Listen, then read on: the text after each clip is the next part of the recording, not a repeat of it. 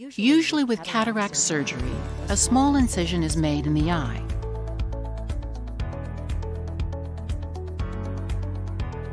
The front portion of the thin outer covering of the lens is opened to allow removal of the cataract inside. The cataract is gently broken up and vacuumed out.